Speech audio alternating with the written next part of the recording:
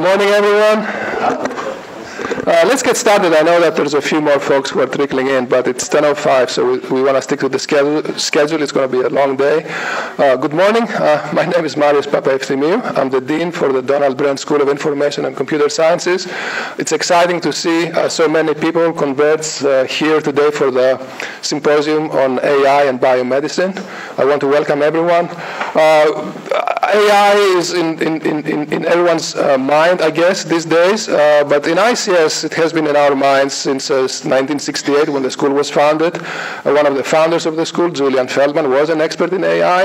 Uh, there was a lot of activity in this school in the 80s, 70s, 80s, 90s in uh, machine learning, well, when it wasn't really the talk of, of, of, the town. Um, the machine learning data repository that came out of UC Irvine in the 90s was the first public repository uh, for big data uh, that, that, that, came out there. And in the past few years, uh, the school has been growing in, in AI, uh, hiring one or two new faculty every year for four or five years now in a row in, the, in that broader space. So we will be doing more in AI in, in ICS. We want to share what we do with uh, the rest of the campus and with the rest of the community around us. Uh, one of the things that we will be launching in the next few months is an institute for AI. It's, it's meant to be a hub for all the AI activity on campus and a way to, to uh, interface with uh, other units on campus and with the community around the campus. Um, so uh, I don't want to take more time. You have many more interesting things to hear in the, in the rest of the day. Uh, once again, I want to welcome you. I want to make sure you know that there's going to be uh, a sequence of symposia like this uh, for the foreseeable future, pretty much once every quarter on different uh, topics related to AI. So stay tuned. There's going to be much more opportunity to learn about what's happening in this exciting space. Um, that's all I have. I want to uh, ask Professor Pierre Baldi to come to the podium and say a few things about what will be happening today. And uh, wish everyone an exciting time. I will be here for a big part of the day, and I look forward to seeing you around and talking to you during the breaks. Pierre.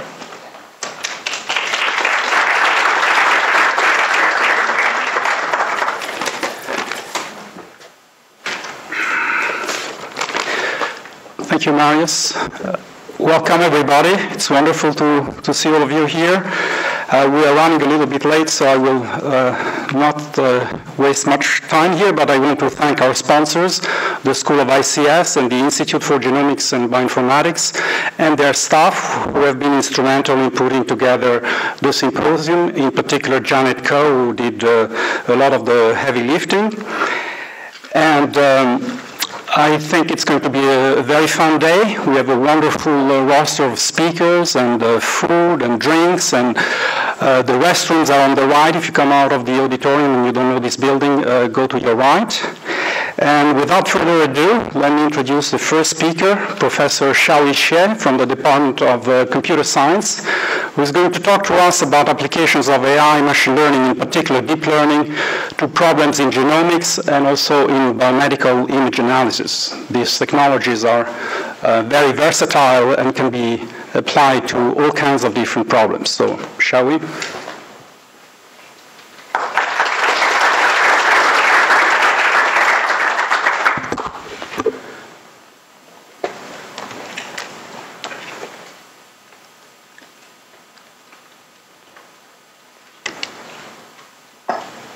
So, uh, good morning, everyone. Can you hear me in the back?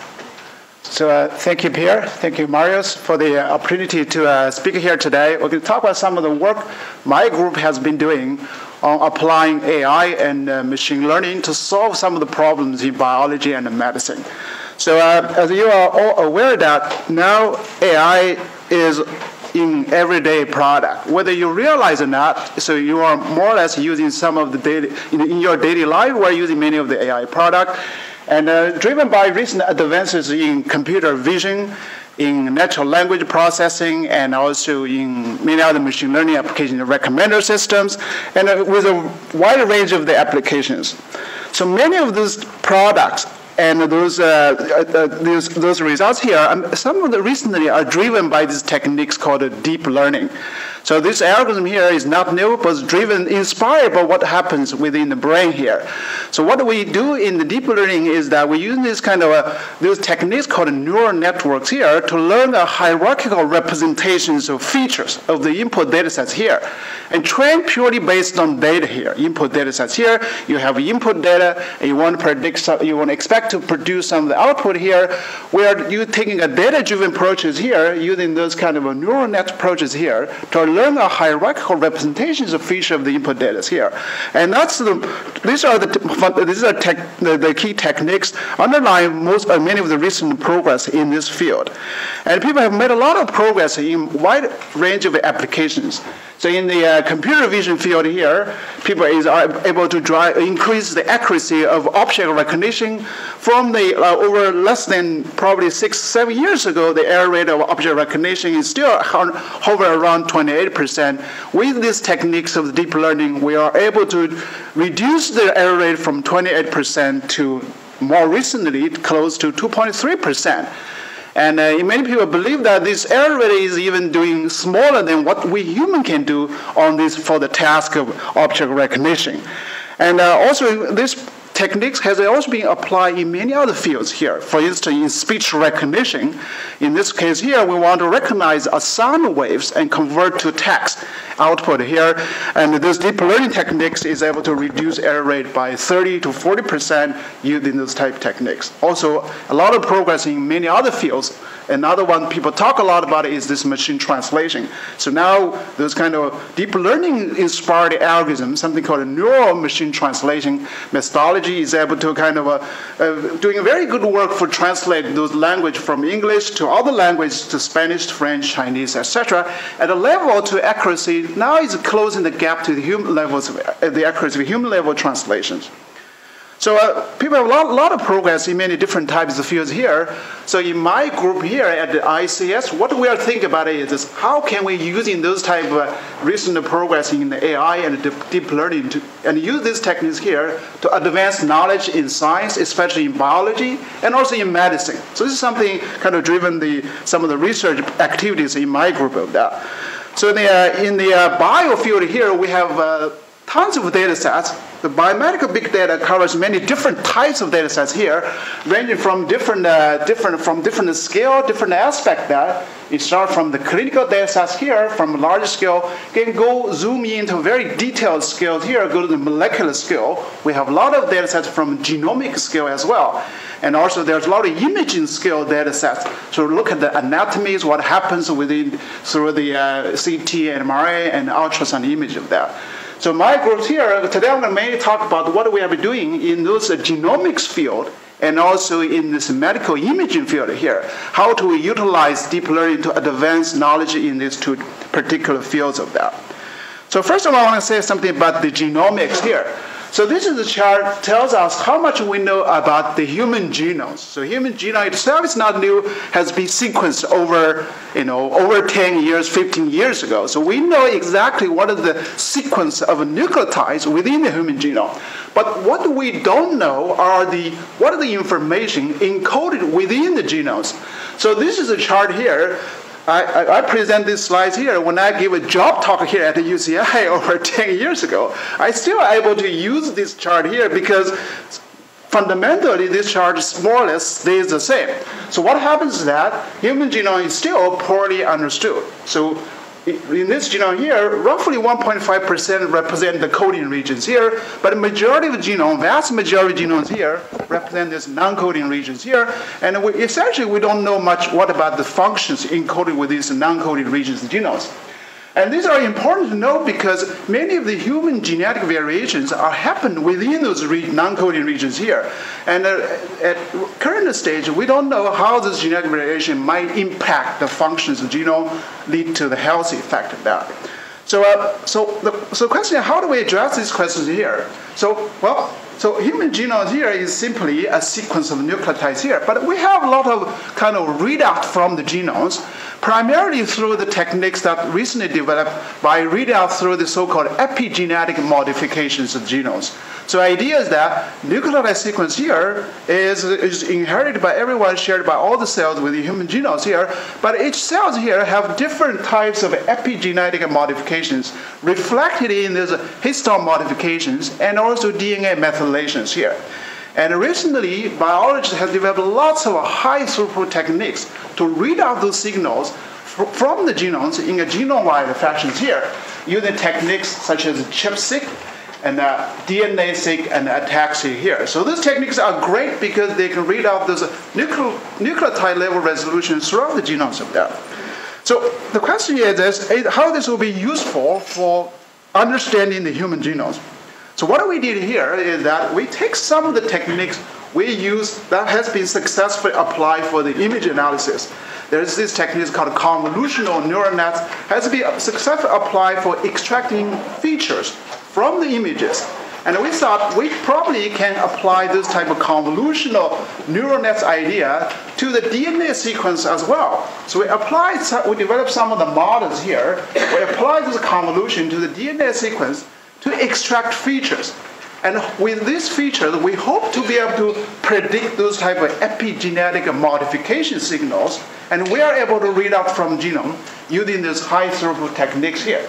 And essentially what we're doing here, we build up this mapping here from the DNA sequence to this myriad of tons of few dozens of uh, epigenetic modifications here, we are asking the algorithm to learn what we can learn from the DNA sequences. So that's the goal of this program. We developed a methodology, something called FactorNet here, to read out these signals here. So it turns out pretty successful. What is it? Why? How is it successful? Because once we learn those signals here, learn the information from the DNA sequence output here, what we can do here? We can make perturbations on the input here. So we make a mutation on some of the nucleotides, and then we study how those mutations here might impact the output here. And that information is useful for us to understand what will be the functional consequence of the DNA mutations happen within the genome side of that. So by doing that, we are able to kind of annotate the human genomes using this kind of a computational methodology, utilizing those high throughput data sets people have been produced and made publicly available data sets of that. And so, so without any experimental kind of you know, the techniques to kind of make mutations in the genome, that usually is very, many cases, not possible to do.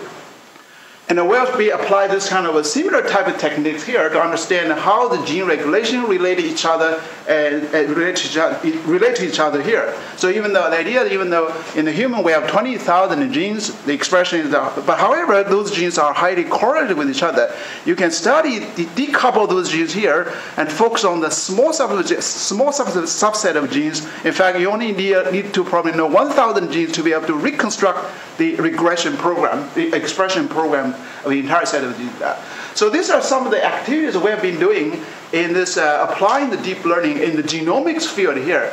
So I just roughly give the overview of what we've been doing here, and then we'll be happy to talk about after meetings for some of the detailed follow-up some of the works here.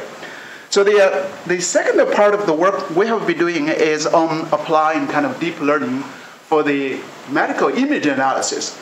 So that as, we, uh, as we all know that medical images become very essential part of the medical diagnosis and in the in in the in, in, healthcare here. So for medical image analysis, there are many different types of application. We usually we have to think about here.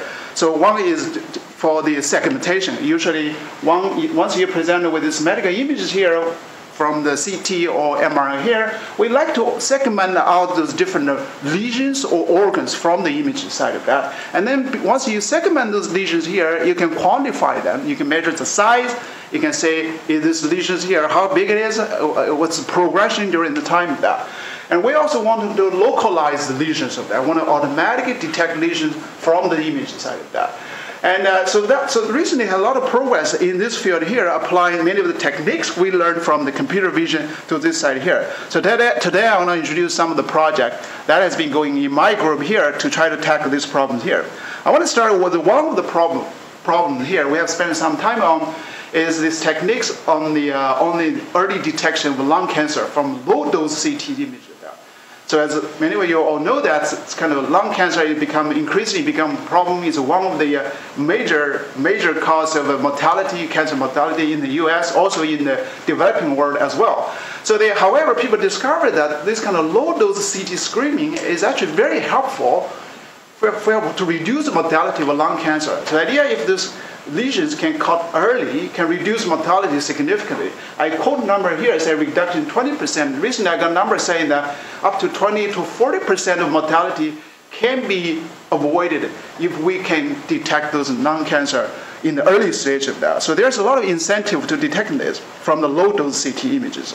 So what do we look at from low dose CT are those kind of small lesions. We call it nodules here, highlighted in this in this red circles here. So what, what the, usually what the radiologists are looking for are looking for those type of uh, looking at this type of small nodules in this in this diagram here. You want to detect them from the CT image of that. So, however, it's actually very challenging to detect those pulmonary nodules from the CT image for multiple reasons. So, one of the reasons that many of these nodules here are very small. And many nodules here, especially for early detection lung cancer here, can be less than three millimeters. It's very challenging to detect those nodules here. And also, in addition, you can see from these slides here, there's not much difference to separate these nodules here from many other bright spots you see from the CT image of that. Because those bright spots can come from the vessels of the, uh, in, the, in the lung regions of that.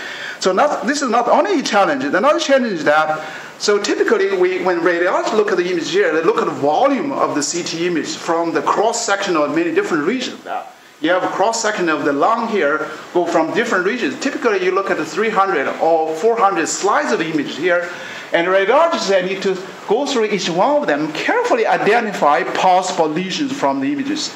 So that is pretty a kind of a time-consuming task here. And in general, there's a lot of false positive and false negatives when radiology examines those CT images for, de for detecting those pulmonary, pulmonary nodules. So what we be doing here is that we're trying to develop a, try to develop a kind of a deep learning algorithm here to automatically detect those lesions here with the CT, within the CT image of that. So what we want to do is that, given the previous kind of a volume of CT image here, we want to automatically highlight what are the potential nodules within the CT regions of that. So I try to find a let me see a later point here. But so the idea in this in this in this uh, kind of this uh, animations here, what I, what I have here. Okay, good. Okay, great. So what we did here is that we highlight those potential lesions here from, from the here, and then radiologists here don't need to go through the entire volume slides here. They can just focus on the small subset of them here. And uh, what we did here, we so what we did here is that we trained a, a, a, model, something called a convolution net, but different from the conventional convolution net is based on these uh, 2D images. In this case here, is in fact, it's very important to recognize that those lesions here, the features have to get from three-dimensional features of the lesion there. So what we did, that we trained a three-dimensional convolutional net. We twisted around different models here, given these whole volume of CT images, and what we, in the end, we try to highlight the possible lesions from CT image, as shown in the previous kind of uh, video animations of that.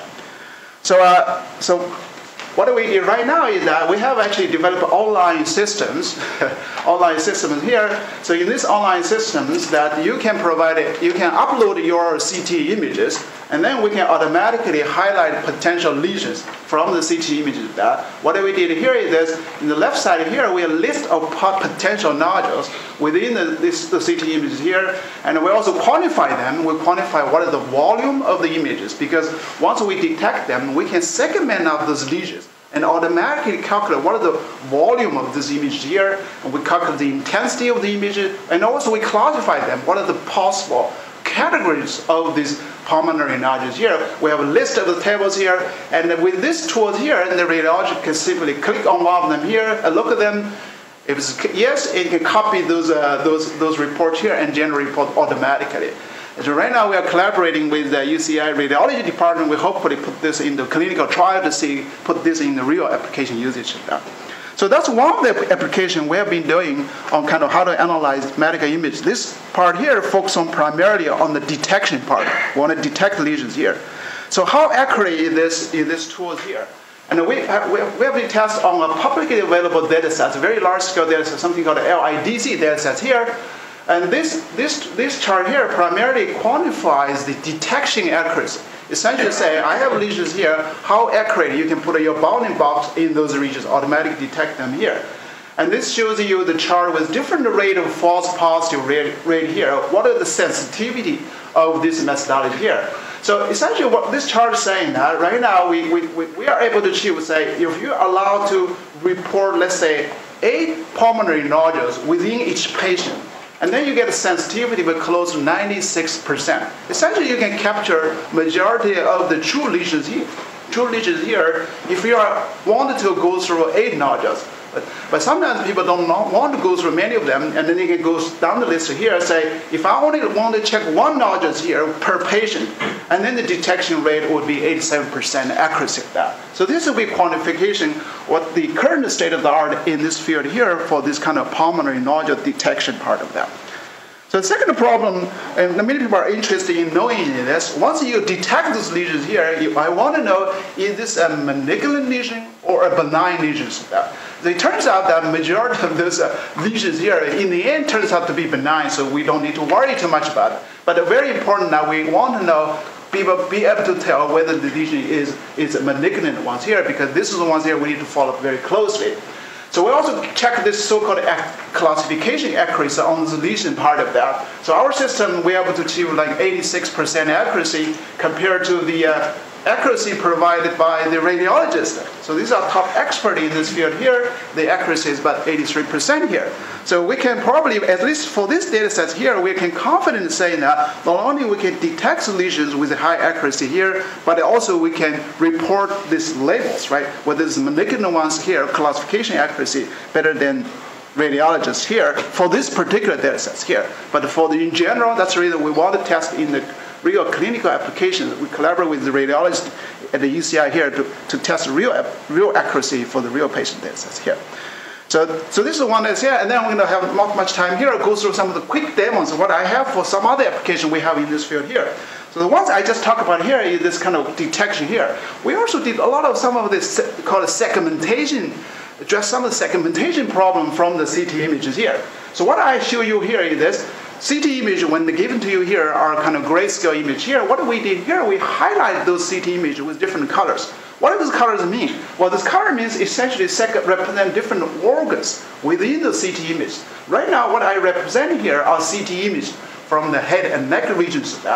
What we did here, we paste those colors on top of the CT image, and then we automatically highlight what are the possible important organs within the CT images here, and in the, in the end here, we also can reconstruct three-dimensional structures of the organs directly from the volume CT image of that. And you can see what the different organs relate to each other here. And what's the purpose for this type of application? Well, there are multiple purposes of that. So one purpose is that for anomaly detections here. By doing this here, we can automatically check the volume to see if there's anything unusual for any particular organs within the head and neck regions here, automatically provide you automatic quantification of that. So there's also other applications. So this application relates to something called, um, called, uh, the, uh, called radiation therapy. In the in the radiation therapy field here, we, it's actually required to delineate all the different regions because we want to protect those important organs from the radiations here. So there's a lot of application in this field of that. So I'm going to skip that so they, so they, uh, in the interest of time here.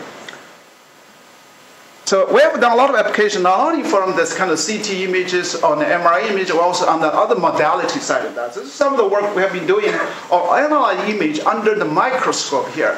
And this is the one here is a lot of application in the pathology department in the medicine side of there. So this shows you a public data set of check what are the lesions in the lymph nodes associated with whether the breast cancer tumors has invaded lymph nodes. What the pathologist took is took a, a, a, biopsy, a slide of the lymph node, and put they under the microscope, and they kind of kind of color them. Now you can see different cells within the uh, slides here. What we're doing here, we want to kind of automatically detect those uh, tumor potential cancer cells within the pathology slice of that. And um, so sometimes those slides here are very complicated because cells grow in many different shapes. What we are be able to do here, we can automatically segment out potential tumor cells, and by doing that, we can quantify them. Okay, say how many of the areas, how many cells, what fraction of cells are tumor cells, what type of tumor cells we might have within the slice of that. So that's another application that's related in the detected regions and with pathology slice of that.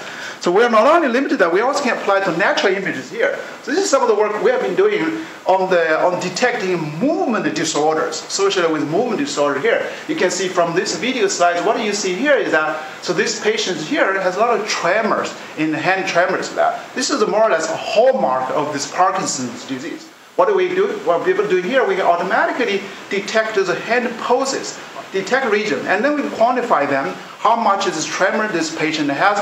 We can, by doing that, we can set up a system to automatically monitor the progressions of the disease, and see, and also for see the what is the effect once you apply the medication to this patient here, and to be able to quantify this automatic here. So I'm going to skip this part here in the interest of time here. I just want to wrap up here. What, what I show you here is some of the some of the application that ongoing in my lab, in my group at the ICS here. And it relates to kind of how to use deep learning to address problems in genomics and also in the medical image side of that. I just want to mention some of the potential challenges, even though people talk about a lot of progress has been made in this field of that. But there are a lot of challenges in this field as well. So one of the major challenges is that kind of the data dimension associated with image is extremely high here. And typically we are dealing with a high dimensional three, three-dimensional data sets here from CT and MRI here. So typically, the traditional method here cannot be easily transferred to apply to solve this problem here. And the question is, how do we solve the problem, right? So another aspect here, usually the data set, training data sets here is much smaller than what we have typically for the natural images. And uh, because of many reasons here. And first of all, these data sets here need to be annotated by experts. And typically, we, this type of data set is not easily readily available. And once, even though they are available, they're not publicly available, so you don't have access to the data sets here. There's a question how to address these kind of issues. There.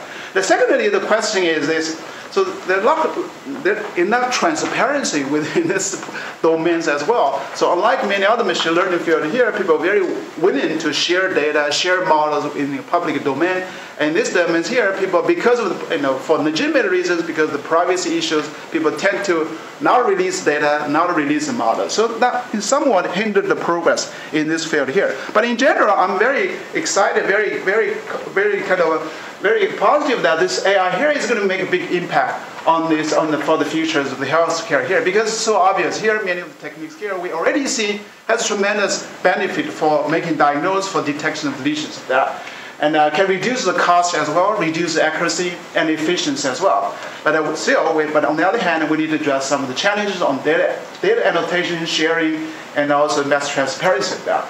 And uh, I, uh, my belief that combine this kind of a deep learning-based kind of data-driven approaches with some of the expert knowledge, the prior probabilistic model, might be useful for this field as well. So, uh, so in the end, I just want to acknowledge some of the students, group of students in my group has been participating in various projects I talk about here, and I'll acknowledge some of the, my colleagues in the ICS and uh, my grant support from NIH and NSF and also centers supported my research at UCI here. Thank you.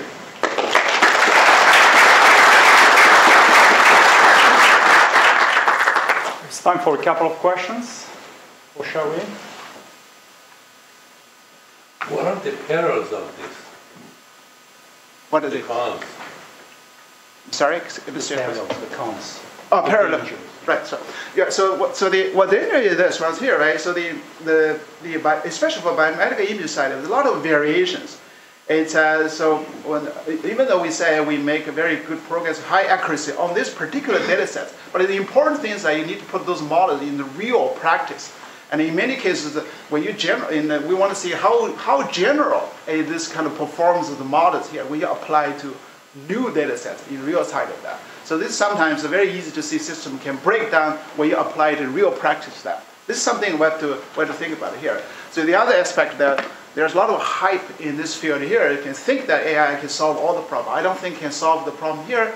So my perspective is this, the AI here provide a tool to assist in the radiologist to doctors to make a diagnosis here, not to replace them. I think more or less from this perspective, not much better here certainly the, the good side of that is certainly uh, we can improve the accuracy and improve efficiency. There's a lot of benefit associated with this. One more question, Hoda? I'm wondering if you can see in the future that some of those techniques can be used for screening programs, uh, or are they mostly diagnostics at the clinical side? Yes, yes, that's right. That, that's actually a very good question here. So, the, uh, so the, for diagnosis, actually a lot of stringent requirement for many of the tools because the accuracy is very important for, for screening for the for diagnosis purpose. For screening purpose here, and uh, I think it's actually a better application for many of the techniques because we tolerate certain levels of false positives. Because once you have false positives, you can follow up with many of this, uh, the tests here. So in fact, for the first project I described for the pulmonary nodule detection, that are primarily used for screening purpose because uh, and uh, even if you have false positive, we, we can have expert follow up them. So that's uh, I, I think it's a better application for many of the techniques here. Thank you. We need to move on. Thank you, Sherwin. Thank you very much.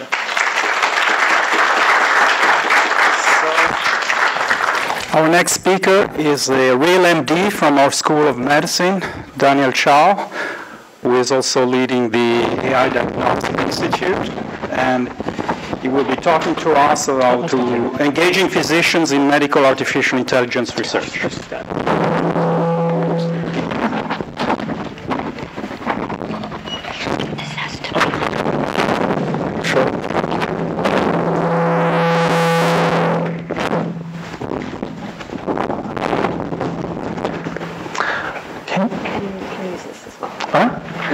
So my name is Dan Chow. I'm a radiologist uh, over at UCI Health, and I changed the title talk to engaging clinicians rather than just physicians because I think it's important to remember that you know the clinical team is not just doctors, but it's also our nurses, our PAs, our clinical coordinators, and that really is uh, a larger group. So I thought this was an interesting topic for how to engage our community in doing um, medical AI research. If I can get this to work. Okay. I think I need to move this. Okay. So, okay. So I kind of broke up the talk into two sections. So first is to why to, why to collaborate with clinicians and also how to engage clinicians. So I think for the why, you know, a lot of things that we think commonly is that, you know, clinicians have access to data, uh, clinicians know how to annotate data because we have some of that clinical expertise. But I think that there are a few things that are also important to highlight to motivate us to work with clinicians. And first is domain expertise, uh, knowing what the clinical need is, and also tackling that uh, last uh, important step for clinical integration. Uh, you know, Xiaoli talked about this uh, before, and you know, as an example, is that medical data is very complex. Uh, I think most of us know what the ImageNet challenge was, and that was to identify, you know, from different photographs what the objects were, you know, dog, cat, horse, you know, etc. Um, and one of the initial early challenges was from the Dream, the Dream group was to apply this tool to mammographic data to identify breast cancers. Uh, we can instantly see the challenge is that, you know, color pictures are typically 256 by 256 pixel size, whereas mammograms can range from 3,000 to 3,000 to up to 6,000 pixel size. So they are a significant order of magnitude higher and larger. One of the initial groups, what they had tried to do was, you know, they wanted to have this size of a mammogram fit into a traditional ImageNet. And so what they did was they took the images, downsized it to fit into the architecture because it was the mammogram was so large they couldn't load it entirely uh, for a single training. One of the challenges though is that we know for mammographers, what we're looking for is we're looking for very, very punctate calcifications. And when they downsize the samples to fit the architecture, they downsized the way to finding completely. And they set around maybe about 50 to 55% accuracy for that first generation. Um, and so one of the things that's happened now since is that the new winners for the Dream Challenges and even our own work is that, you know, we talk to mammographers and we say, how do you approach an image? And, you know, what we do is we go uh, piece by piece, uh, we go region by region, and we were able to magnify certain areas. And so by approaching the images for how a clinician approaches it and having that extra small bit of domain expertise, we're able to improve our results. So I think that's you know, the first thing to recognize is just because we have really you know, very exciting potential tools, translating to medical data is sometimes challenging, and having that extra domain expertise is very, very helpful. And I think that's one of the, the classic challenges that we have is that we have a lot of tools and we don't really know what is the clinical need, what is the application. You know, we, we have a situation where we have a lot of hammers and everything starts looking like a nail. So this is the second part for why to engage with clinicians, and I think it's understanding what our clinical need is. So this is, I'm a radiologist, and this is my work list. And on a standard day, um, you know, our turnaround time nationally is about maybe two to four hours. At UCI, we do a pretty good job. It's about 78 minutes, but we have a delay in reporting findings because, you know, I'm going case by case by case by case. And so the idea is that you might have a hemorrhage on this head CT, and I'm going to go for all these cases before I get to this one. And so we've seen a lot of tools now from industry where, you know, they'll make triage tools where they'll say, oh, this one has a hemorrhage, or oh, this one has a pneumothorax. But one of the challenges is that that only solves one piece of the problem. You know, being able to detect a hemorrhage is, a, is only one issue of the clinical need. And when you talk to radiologists, you know, if you tell me that there's a hemorrhage, my first question is where is it? Because I need to know is it a false positive or a false negative. About 95% of head CTs will be negative. So if your algorithm is just saying negative, it's going to be right 95% of the time. A lot of times when I have a resident who says that I have a hemorrhage and I'll see it in a false positive and I'll say, okay, it's overcalled or undercalled. And so being able to see what a hemorrhage is really important for radiologists when we talk to our neurology colleagues, they say, we don't really care about how fast you tell us because when a patient comes in with a headache, we are with the patient in the scanner and I can tell right away where, if there's an hemorrhage. What I care about as a neurologist is how much volume there is because that's going to go down a different treatment paradigm. And then when we talk to the neurosurgeons, they care a little bit about volume, but what they really care about is where is the location of the hemorrhage because that's going to dictate their surgical trajectory. So even though, even amongst clinicians, our needs change based on the kind of physician we are and the clinical scenario it is. And so I think that's why it's very important to engage clinicians very early on because we can tell you this is what I'm looking for. This is the kind of challenges that we have. And so this is, you know, one of the things that we've done for trying to do a hemorrhage detection. And so we can see that the algorithm that we've made now uh, will actually show you where the suspected area of hemorrhage is to identify true positive. So we can see subtle, subtle subarachnoid, hemorrhagic contusions, uh, hemorrhages. Likewise, the, the nice and important thing is it's also able, if it's showing us an area of hemorrhage, I as a clinician, I can say, oh, it's either a false positive or a false negative. And what this allows us to do is, let's say that the, the algorithm says, I think there's a hemorrhage. And I look at it and I don't know where it is. I have to wonder, am I missing the hemorrhage or did the computer call a false positive? And that's why having these bounding boxes is very helpful. And I think this goes down to where, for AI, a, a, common criticism has been that it's you know typically a black box. But I think you know one of the easy things that we can do is to use an ROI analysis or do an RCNN, and we can kind of see what the hemorrhage is. And here what we've done is we've broken this down to how a clinician approaches an image. You know, I have a head CT, and I don't make a single classification at CT. You know, we go for multiple region proposals we hone in an area. And one of the things that we're able to do with head CTs is that we have that volumetric information. Um, a classic example for how we train residents is if you're not sure if it's a hemorrhage, go a slice above, go a slice down, and confirm that way. And we're able to interrogate the information. And that's something that uh, my co-director, uh, Peter Chang, was able to add those insights into how we design the architecture. And so, you know, these are kind of the results we had, and also breaking up the kind of hemorrhage um, that it is and also uh, the volume of hemorrhage. And then the last point for why is that clinical integration is not trivial. You know, in this example for head CT module, we had to go from the scanner to the PACS to our dev box and how to notify a clinician. And not depicted is all the steps that involve regulatory, compliance, the clinical validation, getting all the other radiologists to buy into use this tool. What are we going to do after hours? How are we going to tell the radiologists? Are they going to get a text alert or are they going to get an email alert? What about for cases for a post-operative head CT? If a patient has a hemorrhage, they go to surgery, there's going to be blood on that CT after surgery. Are we going to notify the clinicians for, the, for those scans also? And then there's tremendous variation between scanners. In know, UCI, we have two different vendors. They have two different protocols. They have two different um, pixel densities and slice thicknesses. And so having something that is able to tackle that kind of heterogeneous data. So even though you might, you might have a very interesting application, there's a slew of steps that as clinicians we know how to uh, navigate. And then, you know, one thing I also really want to emphasize is getting that physician buy-in. You know, there is a lot of physicians who are nervous that are these tools going to replace me? Are these tools going to take my job? And then showing clinicians this is how it's going to make your life easier or augment what you do or make you a better clinician. And there's a quote put out by the MGH people that I like a lot is that you know, AI is not going to replace any doctor, but it is going to replace doctors who don't use AI or are familiar with AI. So I think it's important to have that discussion, that dialogue early. So this is an example of what we have running at UCI, if I get this to work. And so this is kind of a clinical trial that we have right now. Oh, it's not working. Try to get the video to work. Uh-oh. Can I play it from that slide? Yeah, I can just play Yeah, it. you can just put it here. Uh, That's weird. Can you just play it or I'm gonna use presenter Okay. for a second. And I don't know how to Try.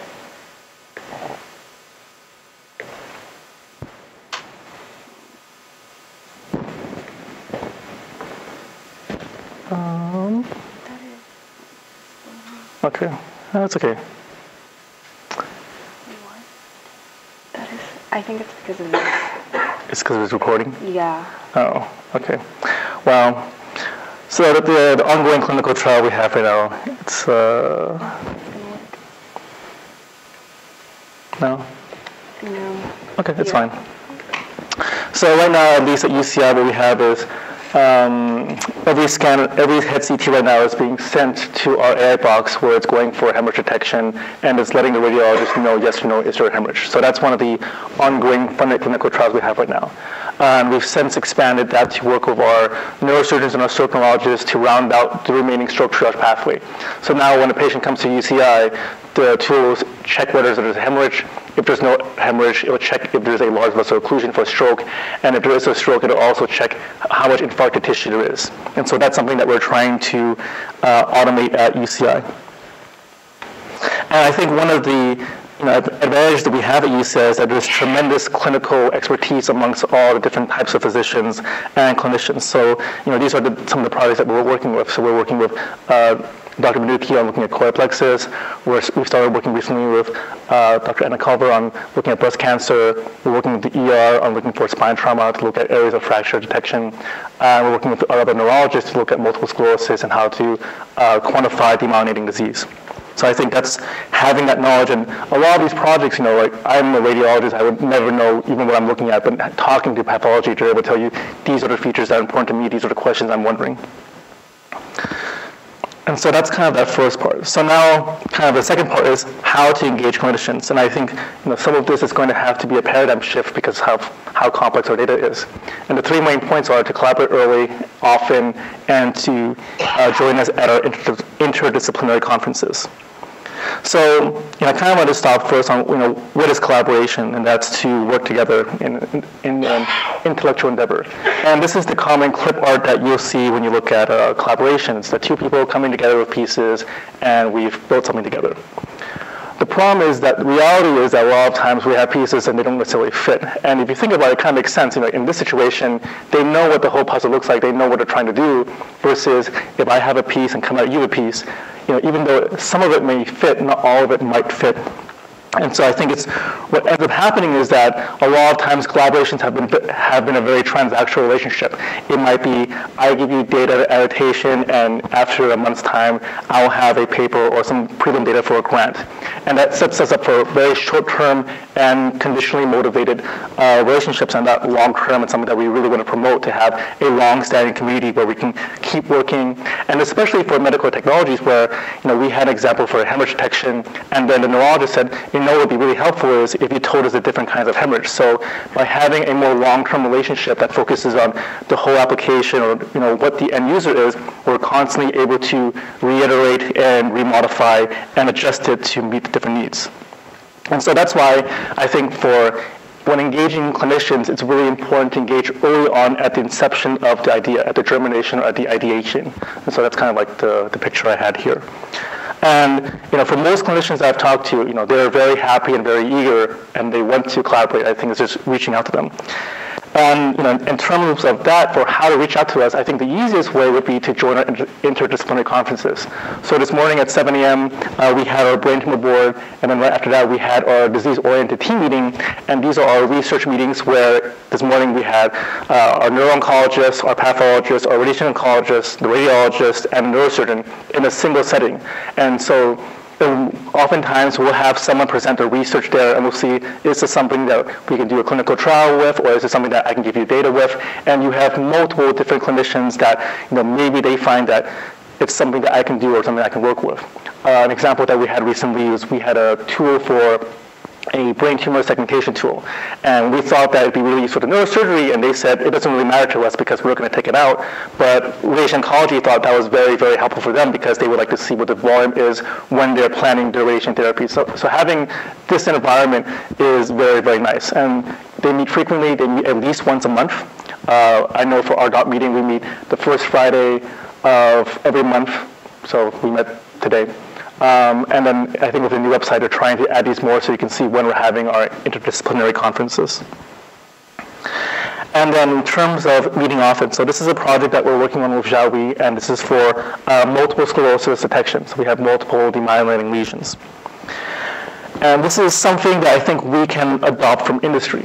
Um, you know, a traditional engineering approach would be to use a waterfall process where we think of a, we think of a tool and we go through the, we go through the steps sequentially to deliver a product. Uh, whereas in software development, you know, it's much more an agile process. And one of the, you know, no pun intended, one of the benefits is that it's a very agile or flexible process. Whereas this goes right step by step by step, and one of the problems with this is that a lot of times the end user doesn't get to see what happens until they get to the final product. Whereas for this one, there's a constant reiteration and a lot of frequent meetings where we see what is the feature, what is the backlog, what is something new that I want to add to this, and a constant update for something that we had. You know, this is something that we did with Xiaohui, and I know uh, Peter was meeting regularly with Xiaohui's team. They would show us something, we would look at something, we'd say, you know, for this this point of this, this lesion, you know, it would make more sense to do this, or why don't we add this feature? Um, and we were able to submit something to MCHI that we're still all waiting to hear back. Uh, one thing to emphasize for Agile is that you know the downside from this is that there's a lot more meetings, there's a lot more collaborations. But in my opinion, in this setting, I actually think having those frequent meetings is helpful. Uh, something that you hear very common about Agile is that it's not efficient, but it's very effective. And I think that's something that we want to build. And you know, once we have a new product or application, we're still able to constantly redevelop and uh, iteratively go through it. And I think that's the advantage for this. So in some way for engaging clinicians, you know, I think for why to collaborate is because clinicians uh, have some domain expertise. Uh, we know how to tackle clinical integration and we know what our clinical needs are. And for how to engage, I would say to engage us early, meet with us often, and to uh, join us at our interdisciplinary conferences. So, thank you.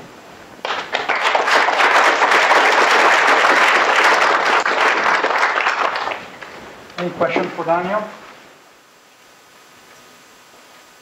Okay.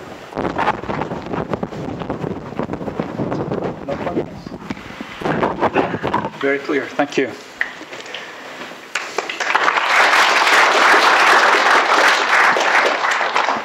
So our last speaker of the morning is Professor Søren Brunak from the University of uh, Copenhagen. He's our keynote, first keynote speaker of the day. Søren is uh, famous worldwide for his work um, he has had several careers in his life. He started as an astrophysicist, then he became a bioinformatician. If you ever have used the SignalP program, it's produced by his group. It has uh, 100,000 citations or something like that. He then became a system biologist. integrative system biology, I think, was uh, his title. And now he has uh, changed one more time and he's working on uh, electronic medical records. And of course, he has a little bit of an unfair advantage because he lives in a Scandinavian country in, in, in Denmark, and so he has a, they have excellent medical, uh, electronic medical records, so he has access to millions of records from uh, Danish uh, patients. So we're very grateful for him to, to, to be here to visit us and, and speak to us about his most uh, recent work. Søren?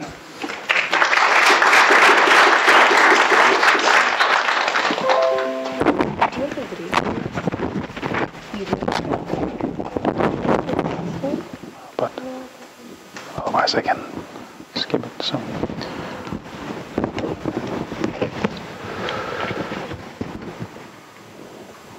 So thank you very much uh, for the um, invitation. Uh, as you already uh, heard, um, Pierre uh, told you about the do domain I'm working in, and, and being here and hearing about the new AI Institute is um, is great because this is, as you already have seen in the in the other presentations here, it, it's it's an area that needs AI and new methodologies like like the ones you've, you've been seeing before. So I have worked along with Pierre. Pierre's work has been a great inspiration also over the, the years in, in uh, machine learning for many years, but, but more simple models. Uh, and now it's, it's been so nice to see how these um, uh, deep learning approaches has, have uh, advanced the field, uh, field a lot.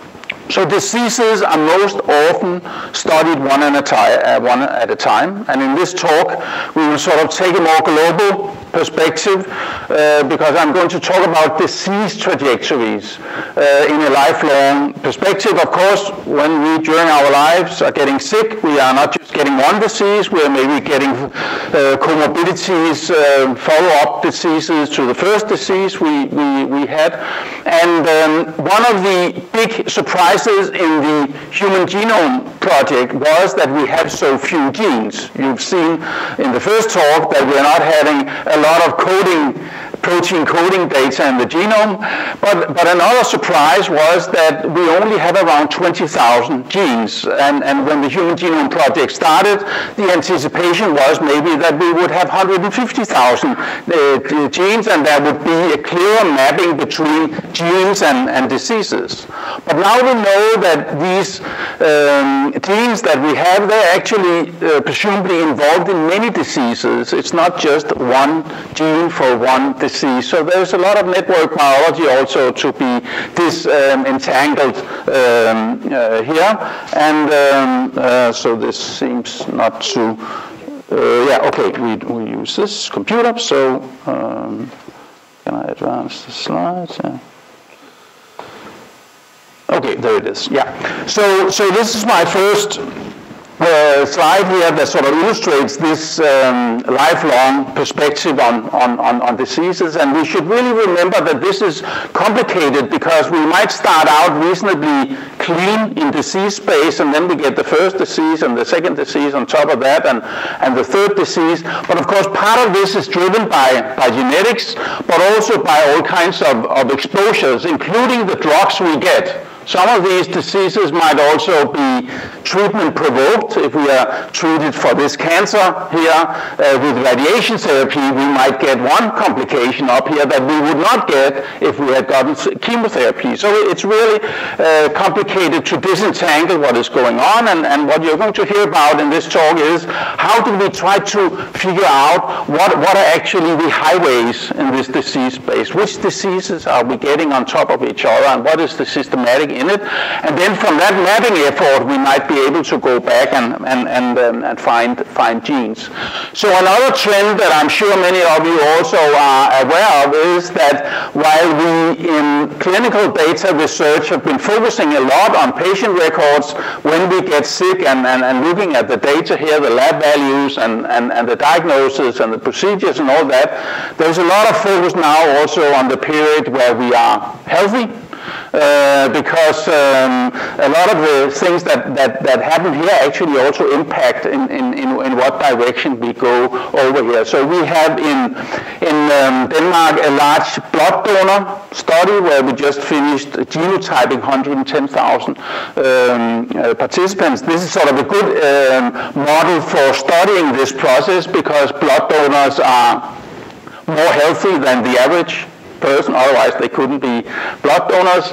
Um, and, and there are also a lot of blood taken from them, and we can actually follow up with a lot of measurements. And I will not talk about this project, I'll just mention that when we talk about analysis of clinical data and maybe matching it up against genomes and, and, and proteomes and so on, we should look more and more into this uh, life course period where we are technically speak, speaking healthy because there's a lot of information that actually can be used down here.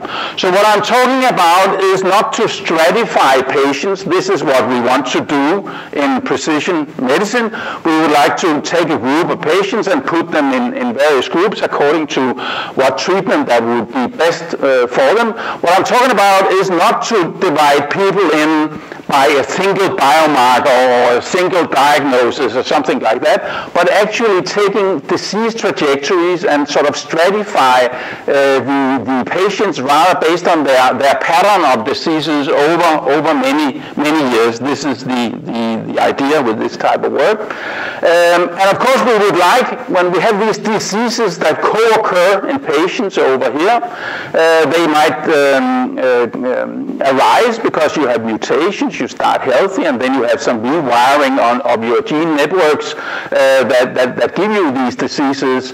But if we should learn about what is actually going on down here so that we can use the, the genomes as biomarkers, we, we need first to find out which diseases are we actually getting together from some of these large population-wide data sets. And that's the focus that I will have in, in, in this talk. And this should, of course, in the end, um, end up in a more mechanistic understanding of diseases. Diseases are largely named after their symptoms, not uh, named after what is actually wrong, uh, molecular speaking, with, with, with the networks um, as, as, they should. And here's a slide. This is not my own slide. It's a little bit busy slide, but it's Peter Robinson here in this New England paper from, from, from last year, where he sort of talks about, I can recommend this paper, on how we, we uh, derive a new disease ontology that actually is more mechanistically uh, based and not just based on the symptoms that we have observed in the clinic for, for, for, for years. Another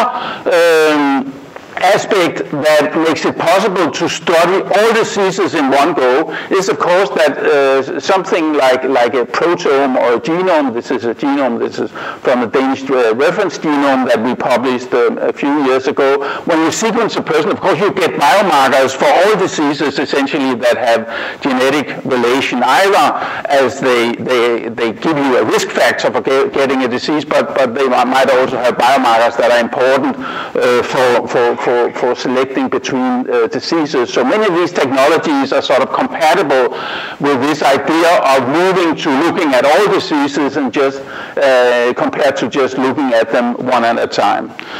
So in the clinic today, we work with the International Classification of Disease system that actually has a long history. The ICD-9 codes that you get in the clinic uh, here in the US uh, mostly, I mean, this system goes back uh, more than 100 uh, years to this Bertillon classification that, that started out as causes of death um, listing. And there was some harmonization made between some English and, and, and German and Swiss ways of, of, um, of dying.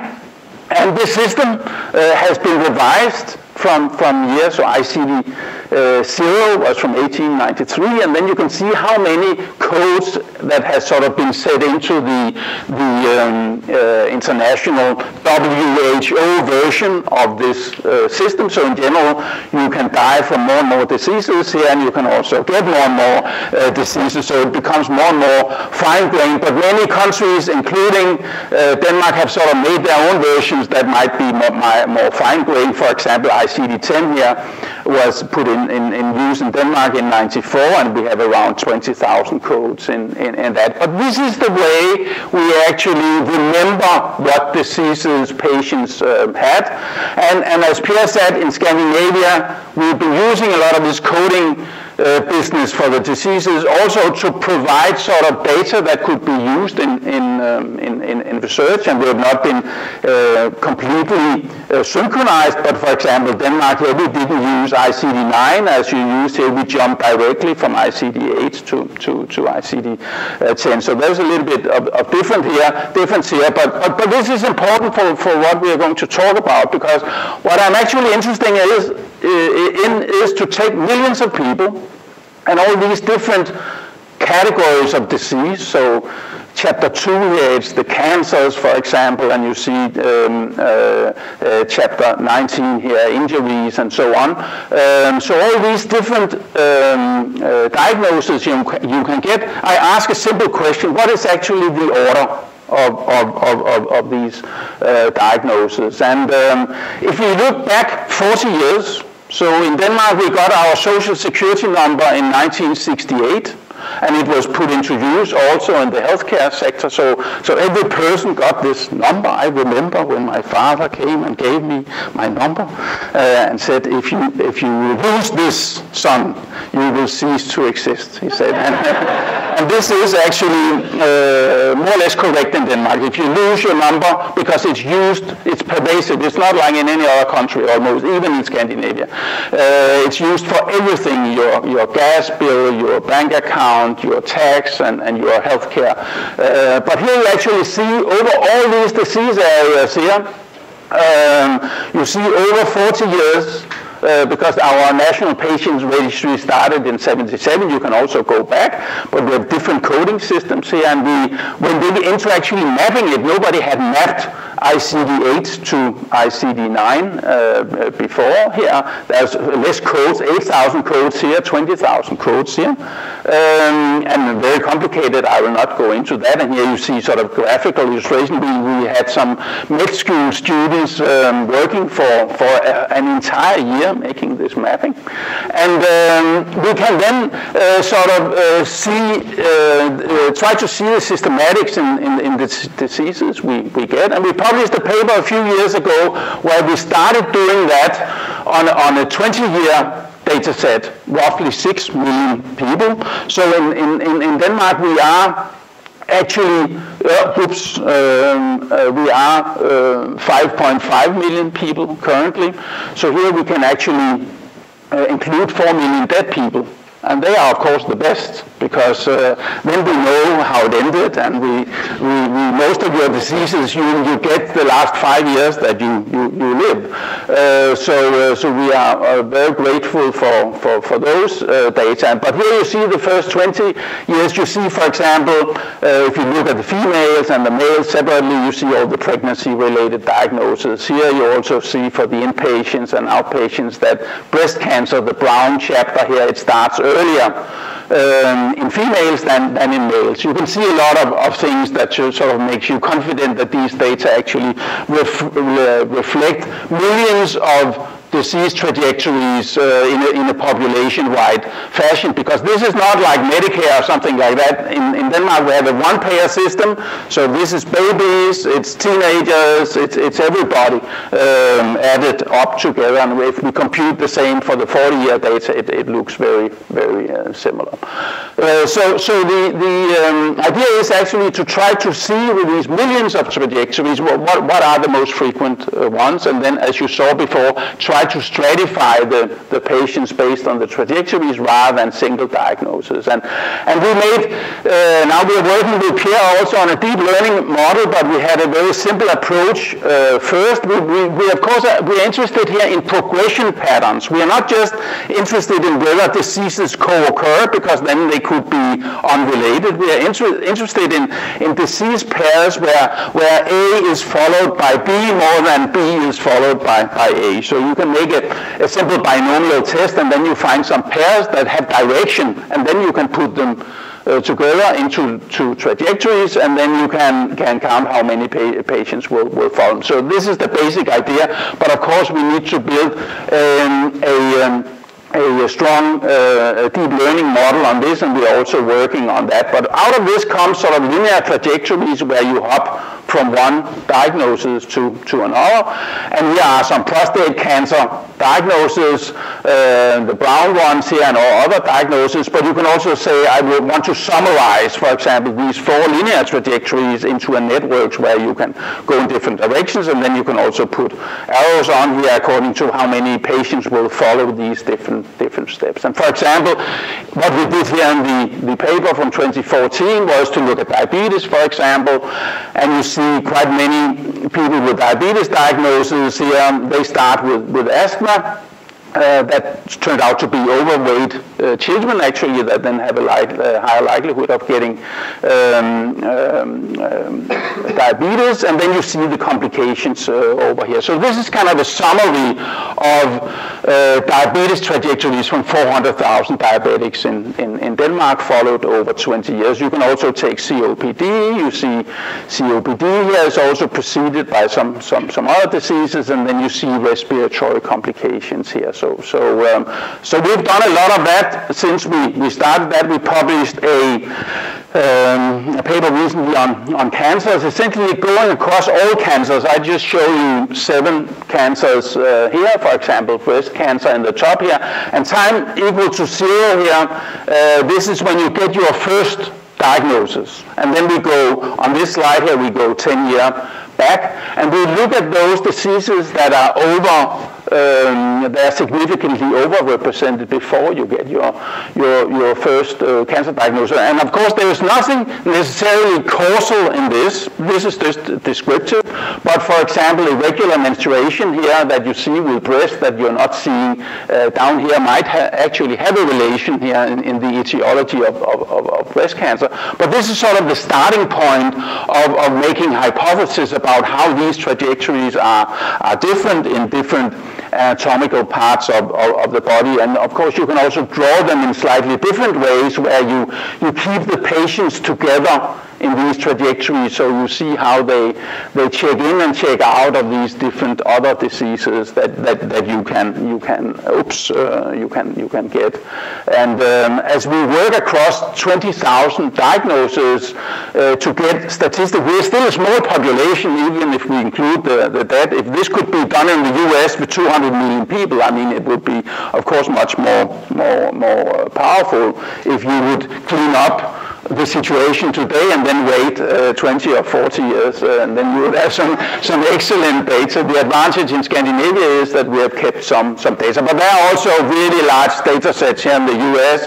I've been involved in several collaborations where we've used data from more than 100 million um, patients. They might not be sort of uninterrupted in the way we have it in, in, in, in Scandinavia, but they are also really interesting and sometimes it matters with, with the large uh, numbers. You can also hook some of these diagnoses together if you would like to get more more um, more um, uh, statistical power.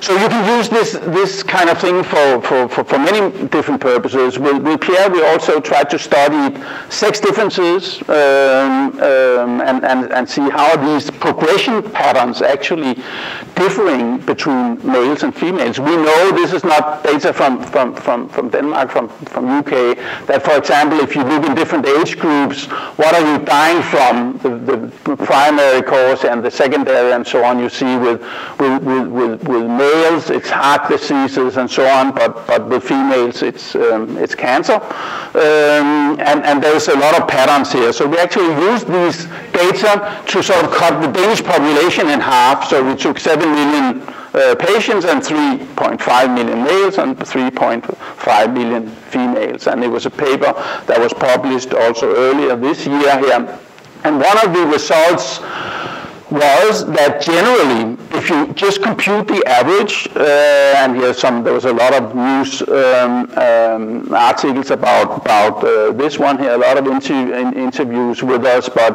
but uh, in, in, on average, if you look across all these different disease areas and you see what is the difference uh, in age at the first diagnosis of, of the given diagnosis that both genders can get, both sexes can get, uh, of course, no ovary cancer here, no prostate cancer cancer that has been taken out. Then in, in, uh, on average, females are getting the same diagnosis four years later than males. And, um, and this is, of course, as a, as a starting point, a good thing because females have more disease-free years in their life. Uh, but of course, some of the delay here in diagnosis could also be that diseases are overlooked in, in, in females. For example, heart diseases seems uh, to many clinicians to be primarily sort of a, a male uh, business. So, so some of these analyses can also highlight some of these um, issues. I just skipped this one. But we essentially made a map on how, if you take females over here and males over here, how you hop between these disease um, chapters in terms of how strong the uh, progression pattern uh, is, whether A comes before B or B comes before A.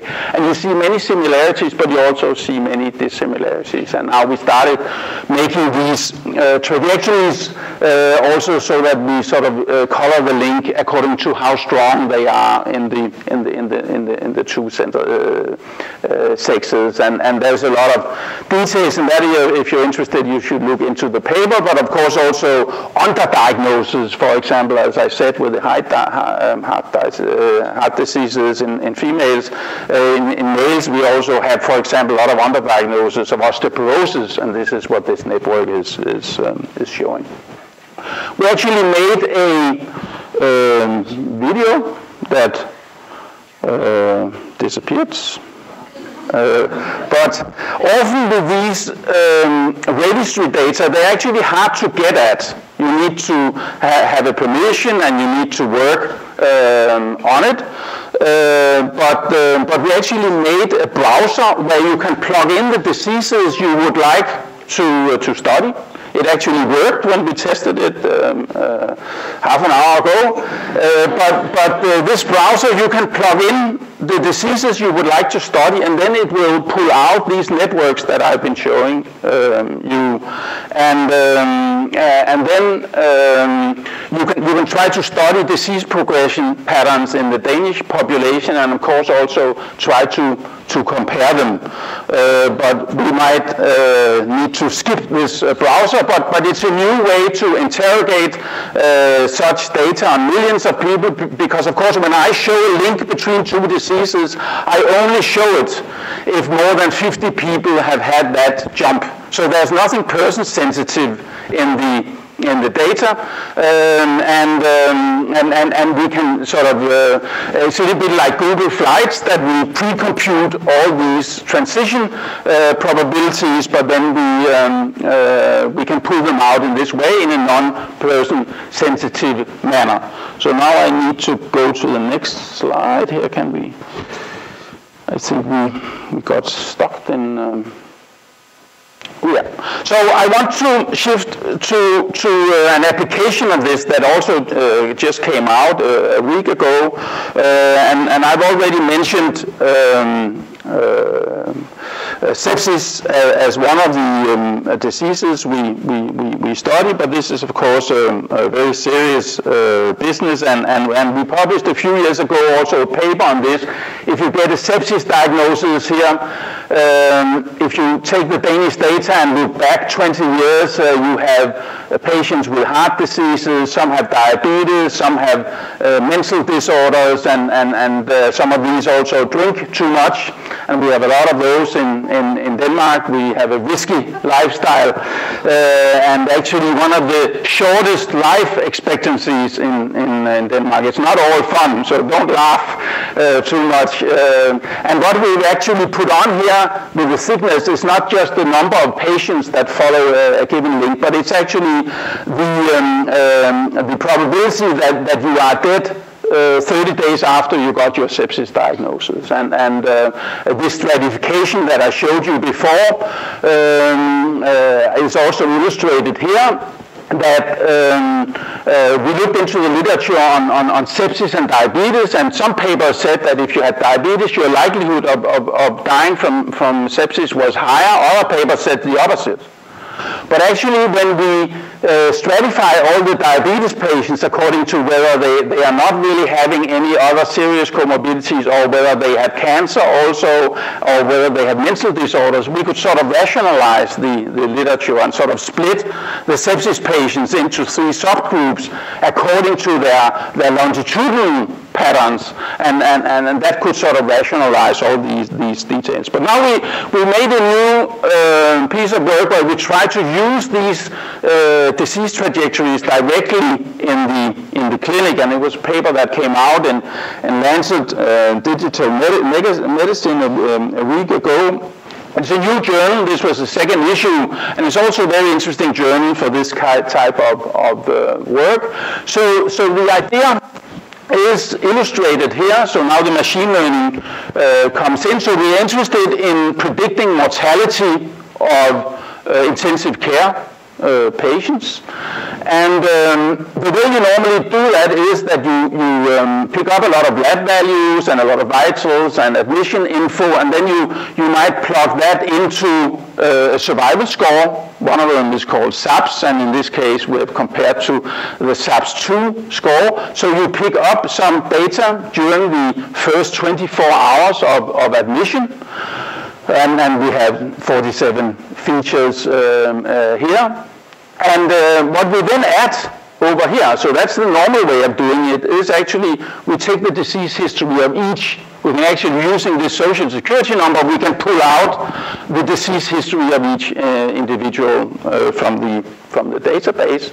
And um, uh, we, we, picked up uh, sort of uh, 270,000 ICU patients, and we also had a smaller data set where we had all these high frequency data that we need over here. And then you can predict mortality either at the ICU uh, ward or you can do it 30 days or, or, or, or 90, 90 days. And then there's of course a lot of pre-processing of all these these uh, data that you you get, out, and and it was actually quite surprising result because if you would take a correlation coefficient and then um, try to see how many false positives and true positives do you have on on dead, not dead, for example, at at, at the ward, uh, this is the score you get uh, if you use this SAPS2 score. And, um, um, and you see the different models we have, have um, um, illustrated here. So if you just use the disease history before the patient came to the hospital, just that information is actually more powerful or more or less the same as the SAPS2 score that is computed from the data picked up over 24 hours.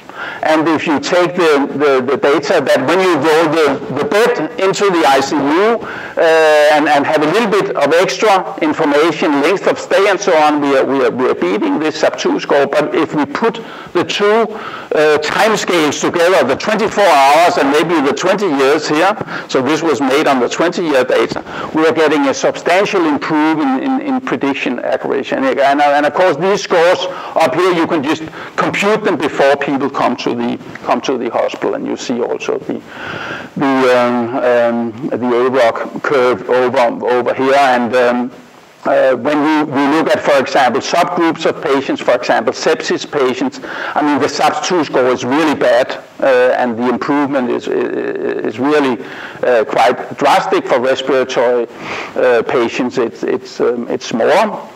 And it's interesting that you can play around in the machine learning approach with, with how you actually show the, the uh, 15 or 20 years of, of, of um, history to, to, the, um, um, to the algorithm. You can, for example, just use the chapters. Did the patient have a disease in this chapter? But you can also use the block structure um, of, um, of ICD-10. We have 227 blocks, so that's more fine-grained. And eventually we could use the, the, the 20,000 codes, but then we would need more, more patients, and this is also illustrated over here. I think I will not go into the detail, but of course, if we had 100 million patients and we could do that, we could actually work with, with the fine-grained levels in ICD and presumably get an even better prediction. This is keep, uh, this keeps going up, so, so, so this is what we learned from that.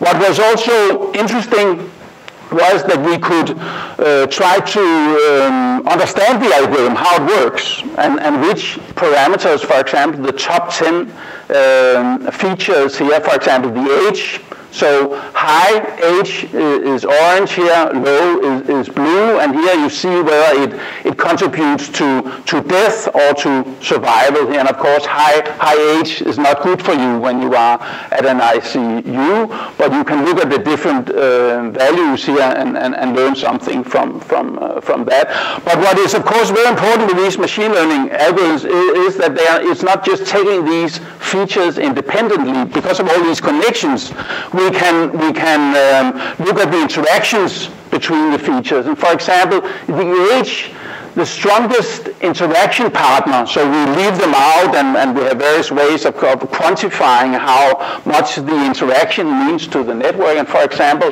the top interaction feature here was diagnosis related to reproduction. And that turned out, so, so, so even if you have a high age, if you've had diagnosis related to reproduction, then your risk is lowered. It's sort of illustrated down here. You have, have age here, you have a risk, but if you have diagnosis related to reproduction, your, your, your, your real age is actually lowered. And then it, uh, I asked the PhD student and Laura, what, what is this about? Yeah, it was mainly people who have gotten their ability to produce children back. So diagnosis related to reproduction. And I said to him, we cannot write this in a, in a, in a paper. this cannot be, be, uh, be, uh, be true. But it is actually true that some of these diagnoses that you have is also evidence that you're actually living an active life um, so in this case, the network picked up that you actually had some quite old people, but they had some surgery earlier in life that actually contributed to them surviving more often at, at, at the ward. And this is, of course, the power of the machine learning algorithms that they can, they can look at, into all these correlations. There are many of them, and I will not go, go, go through them, but you can look in the paper uh, for them. So, so we are also using other architectures uh, on, on, on, this uh, problem. When, when we look at this uh, prediction here, of course, it's a simple feed-forward neural network, but, but, but, but, there's no time involved here. We're just waiting 24 hours. We get these data, we plug it into the network, we get a survival score. But of course, what we would like to have in the clinic is actually uh, sort of a, uh, an hourly uh, prediction, for example, that we would like to have a survival score every hour, and this is what we also now have completed, uh, and, and, this paper is close to, to, uh, to, to, submission. And of course, also this LSTM network, we can go in every hour and look at uh, what is actually um, uh, drawing sort of the, the, um, the prediction towards uh, death or, or, or towards uh, uh, survival. And it's interesting that these features that are, are important for whether you are likely to die or whether you're likely to survive, they, they, they change every hour and you, you have them numbered here, but it's more the principle instead of going into the details of, of, of this. But this is a way you actually can use this disease trajectory information in the clinic. Very often we have research registries uh, in, in, in, the epidemiology field that are mainly used for research. They are not used directly at the bedside. But this algorithm that we published here is one example where you actually could plug out the data that the patient donated to the registry and you could actually plug it out uh, when, when, when you get to the ICU and then you could contribute to, to, to a better prediction of your survival uh, possibilities. So just to, to, to finish here, I've just told you, of course, uh, some, some disease trajectory analysis uh, in a very simple way because we've mainly been working just with diagnosis. Of course, we can make trajectories at, at many of the other. We can take the, the, the drugs or the lab tests, or we can also look into the text, and we're also doing that quite a lot, but I will only uh, mention it because, of course, instead of, of taking the codes that the doctors assign to the record, we can also pick them up from the from the text. This is Danish, you cannot read it, but might be able to see that this is schizophrenia and paranoid schizophrenia. Uh, but this is, of course, also done a lot in, in English and, and especially in the in the US and in um, in the UK. We started on, on this also quite some, some some some years ago, and then you can actually plug these things into the trajectories. If you have a trajectory here, and you find, for example, a symptom that is statistically overrepresented between two diagnoses, you can you can plug it into your uh, trajectory, so you can sort of make um, networks that combine diagnoses and symptoms. So the blue uh, circles here are all the the symptoms, and you can even put relative risks on them uh, and say maybe one symptom is, is uh, decreasing the risk of getting this one, but it's increasing the risk of getting this other one. So you can combine this with, with uh, text mining approaches directly on, on, on the record. But of course, you can also pull, uh, pull out structured um, uh, symptom information from the record. There's a lot of them. This paper is not out yet. Uh, out yet, it, the journal keeps asking for minor revision, and maybe the editor has a competing paper. I'm not sure, but I hope it will uh, come out. And, and, and we are working on, on, on large data sets also uh, where we have all these, these um, uh, data. We also have a lab value registry in Denmark with all the lab values that are being produced every, every day. But, but um, in this case, it can be nicer on a smaller data set, for example, of 3 million patients for half of Denmark to, to have all the data um, collected in, in the same, in, in sort of the raw, raw form. It can be used, for example, for polypharmacy analysis and also a domain we, we work in, um, mining the uh, adverse drug reactions, the yellow ones here out of the uh, record and, and, and, and see what, what, what is overrepresented. A few years ago, we, we published a workflow for how to deal with these adverse drug reactions. Of course, that can also be used on the polypharmacy problem because this is one of the large unsolved problems in, in, in, uh, in healthcare data analysis. Uh, most of the papers deal with side effects for one drug, but, but like with the diseases, people have not really studied uh, all diseases in, in, um, in one go. Uh, maybe pulled out a few examples and so on, but we don't have it in a, in a drug own um, complete uh, way, even if we have some, some data sets that are analyzed in this way because they are not covering the whole, whole population and so on. So, so what I've been telling you about here is this attempt to try to understand in what order we get diseases. Some of these diseases are caused by, by um, uh, our gene, uh, germline genomics. Some uh, are caused by, by um, exposures and treatment and, and, and so on. And, um, and, and this is at least one, one approach. And, and I guess it's a general trend now that this idea of just studying one disease at a time uh, is not um, any longer the only thing you, you do, there's another editorial that I can recommend from New England Journal where, where this idea of, of, of studying many diseases in one go is, um, is um, uh, described. And, and, and I think it's the interesting way of going with many of the big data and, and systems level tools that, that, that we have. Finally, I started saying that, that we have so few genes. But my group has also been involved in the NIH-supported project on, on illuminating the druggable genome, where we published a, a paper last year together with, with Tudor, uh, Oprea, and, and, and in this paper, there was an interesting observation, uh, and I'd like to re return to that with the genes here uh, as an end, because uh, if you just take the outer uh, uh, uh, the, the, the, inner circle here and forget about the outer circle. So, so when you look into these 20,000 genes, we have 3% of them are actually drug targets today, and 6% are sort of in, in some kind of clinical trial, and there's a lot of literature on also a large chunk here. But actually around one third, there's not much literature on them. There's not uh, uh, virtually any patents. You can look into the paper. Uh, there's a lot we, st we still do, uh, do not know, as we heard in the first talks. And, and we think many of these genes are related to many diseases, and therefore they are not popping up in gene expression analysis of, of, of genes because they actually um, pulled in many different directions according to, to, to, to the full disease spectrum. And, and, and it will be complicated to assign them, but I think an important step is to try to see what, what um, the order of the diseases we get actually uh, is. So finally, uh, I've not been mentioning much about socioeconomic status.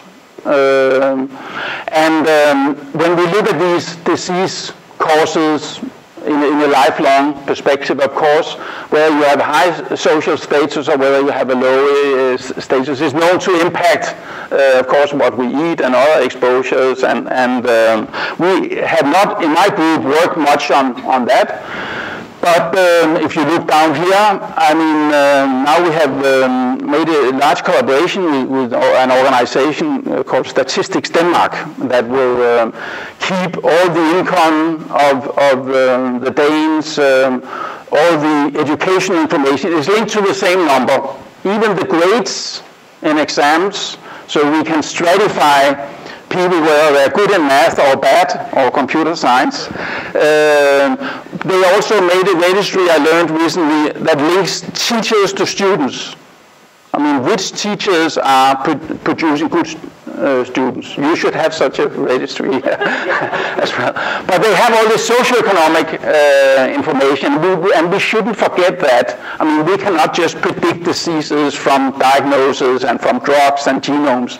There are many socioeconomic aspects that, that impact all this, and we should make sure that we uh, put this into the equation. And, and I think the deep learning approaches, the data compression approaches that we also heard about in the previous talks, I mean, they are are really good for this. Um, apart from that, I think we, we, we, are trying sort of maybe to, to redefine disease as trajectories with, with some of these approaches. I think I'm out of, of, um, of time. But, um, but this is um, the, the idea with this mapping effort. It might seem boring, but I think it's actually uh, uh, very useful for patients. We saw it with sepsis and diabetes, but uh, I think it can be useful for many other disease areas to stratify the patients rather on their longitudinal patterns, maybe from 40 years of, of, of history, rather than just single diagnosis or, or lab values that you have, have, have picked uh, up. So a very nice group uh, here from one of our uh, retreats. So I thank you to them, and many, many of them are mentioned here also on, on, on, on the list. But thank you again for the invitation, and uh, congratulations to the AI Institute, and I'll be happy to answer questions. There's time left. There's plenty of time for questions. Yes, please. So I'm interested in whether you see ways to improve the electronic health record so that you can better predict prevent and diagnose?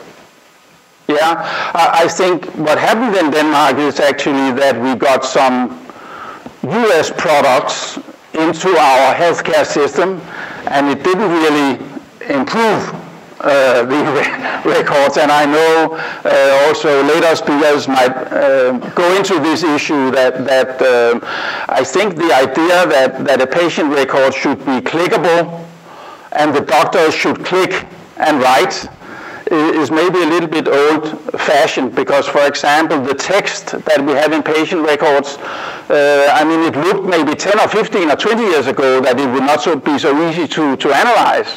But companies like, like Google have shown that even with unstructured data, you can make a lot of good analysis. So, so, um, so at least what, what this kind of work maybe contributes, and also work done in, here in the US, is to say that uh, I think we want the old-fashioned patient record back that's my recommendation. And I think we should ask the doctors to do what they're good at, dictate into a phone that might be linked to, to um, uh, automatic transmission into text and so on. Uh, I, I, think uh, doctors shouldn't click.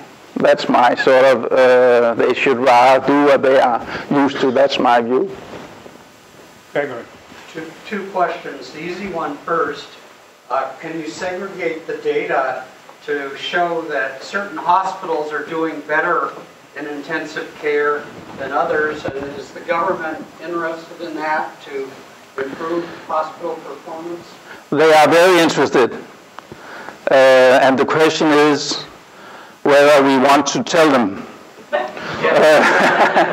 Uh, but actually, I, I, surfaced a little bit over it, but we actually, a little bit like you have in, in other analysis where you plug in the study center, we also plug in the hospital. Here we say hospital A. And that actually meant a lot because different ICUs, these, the, these data come from different ICUs, and they're not having the same mortality and so on. So actually which hospital you came from actually ha has an important importance here. But it, it's a sensitive thing if you should make a real benchmark, but it's a very important question. Therefore, we are not disclosing what Hospital A is here in the paper and, and Lancet Digital Health. They accepted that because if we should have done that, we should have made a much more detailed analysis of, of that. But it, th this is maybe one of the fundamental reasons why all these data have been collected for the last 50 years in Denmark. That is to follow up on, on, on efficiency in, in, um, in healthcare. So benchmarking uh, wards against each other is done a lot from this data, but in this paper we are not going there. Um, uh, also, we had the theme of the previous talk where you would like to work with clinicians. We are rather interested in that collaboration rather than exposing uh, the patient data Shouldn't the patient have the right to know this information about which yeah. hospital is better? No, but, but I agree com completely, but then you should make a, a, a serious paper just on that. And, and, here we just took it in as a feature, and it might be that hospital A, they have many, much more sick uh, patients or less sick patients. So there might be, be um, wrong reasons for saying that this is the best. Uh, I think I know which ward I would like to go to in Denmark now.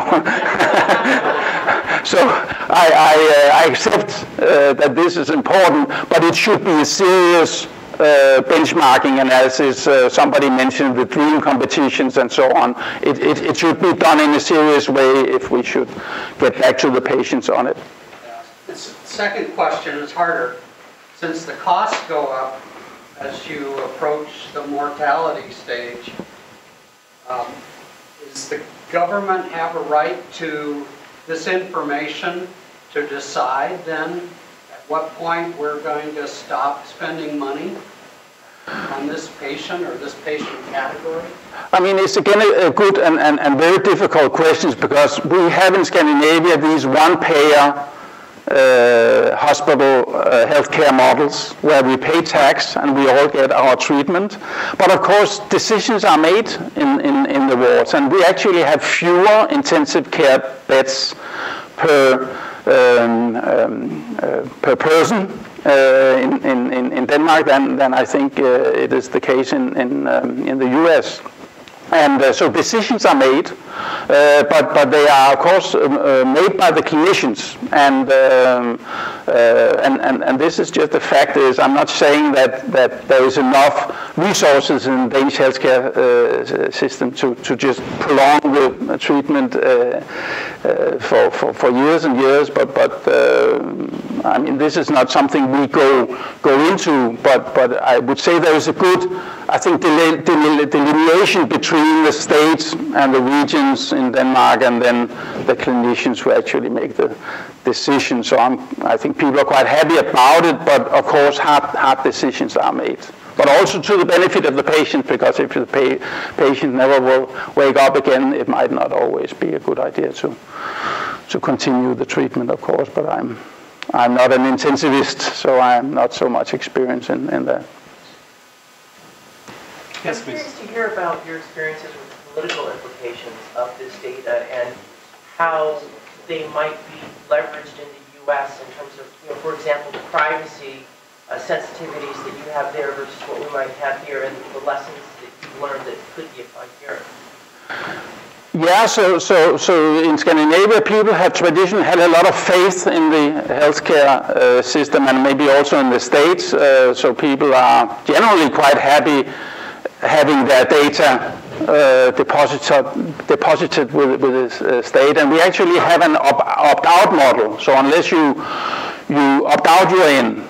So are, this is not based on consent because uh, then it would be difficult to work with, with 10 million patients uh, as I did in part of the, the, the, work here. So, so I think that's an important element, but that is of course a, a political uh, question. Um, and and uh, we have these data in very safe um, uh, environments. We, we bought a computer for 20, a new one for 20 million uh, euro um, uh, with a lot of security uh, around it. So I think we have a good security model around the, the, the data. But of course, if you want individualized care, you also need to plug out data for the individual. We cannot just go around saying we, we're only computing average statistics.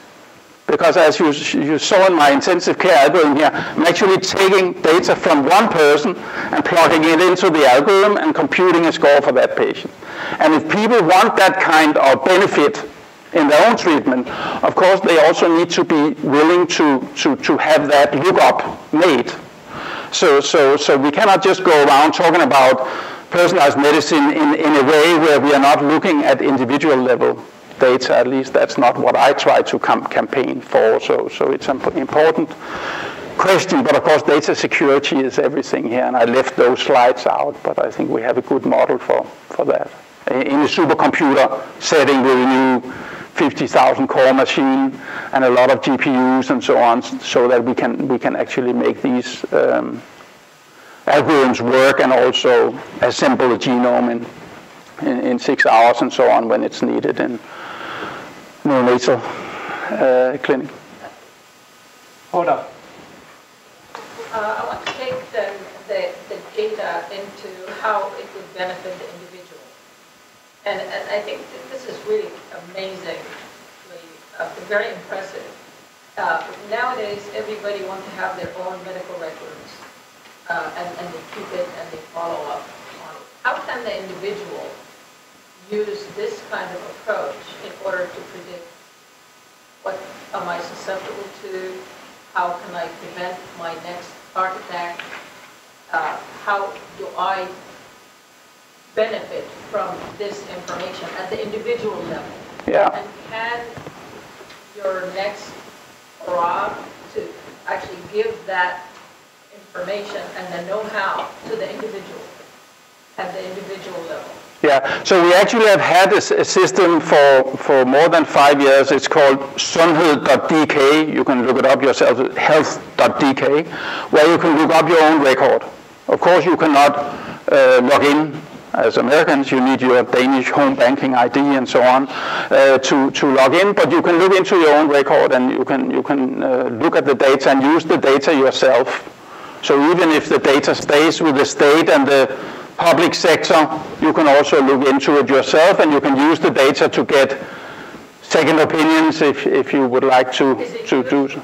Uh, I think people log into uh, their record quite a lot, and also relatives log into the record together with, with, with their um, father or mother or whatever. Um, uh, so the login is for everybody who are uh, older than 15. Children cannot look, uh, log into their own record, but, but I mean, uh, I mean, this is just access. It's not exactly what you say. It's not really facilitated that the data maybe could be transferred to other systems. Where, but there's also data security issues in, in that. But at least the data are made accessible to, to, the, to the patients. Can you add data into the database? Yeah, we, we, we just started a national genome center that works in exactly the same way, where it's actually now compulsory in Denmark if you accept to be sequenced as part of your treatment at a hospital, you can, you can say, I will not be sequenced, whole genome sequenced, but if you say, yes, I would like to be whole sequence, uh, uh, whole genome sequenced,